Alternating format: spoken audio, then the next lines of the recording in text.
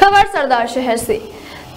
सरदार शहर में एक सोमवार को मानवता को शर्मसार कर देने वाला मामला सामने आया है। एक बार फिर माँ की ममता शर्मसार हुई है। शहर के मदीना कॉलोनी में छह महीने की बच्ची का भून मिला। एक माँ के द्वारा एक बच्चे को पाँच छह महीने तक पेट पे पालकर इस तरह सड़कों पर फेंक देना। कहीं ना कहीं हमारे इस शिक्षित समाज को शर्मसार करता है। ऐसा ही राम प्रताप गोदारा ने बताया कि उन्हें सूचना मिली कि शहर की मदीना कॉलोनी में एक भून पाया गया है, जिस सूचना पर वह मदीना कॉलोनी पहुँचे।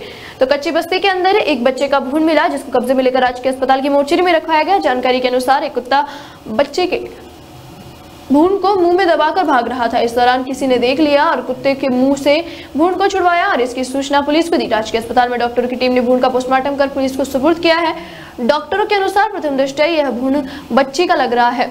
छह माह के करीब का भून है। भून किसका है, यह अभी तक पता नहीं चला है। पुलिस मामले की जाँच में जुटी हुई है।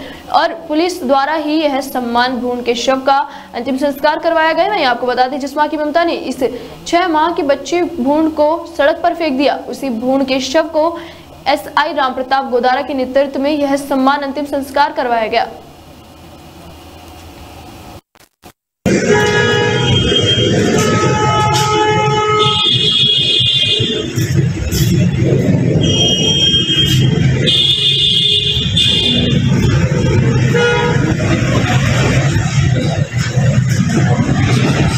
सुबह एक सूचना मिली थी कि अ, मदीना कॉलोनी कच्ची बस्ती के अंदर एक भ्रूण है। जो एक भ्रूण भ्रूण भ्रूण पड़ा हुआ है। वहाँ गया था। जाने के बाद में पता चला कि भ्रूण था करीबन छः माह ही है वो। पूरा परिपक्व नहीं हुआ था। उसके बाद में वहाँ आस पड़ोस वालों से पूछा तो उन्होंने ये बताया था साहब ये कुत्ता कोई मुँह में लेके आ रहा था। और जब हमने उसको पत्थर मारा तो उसने डाल दिया और वो भाग गया।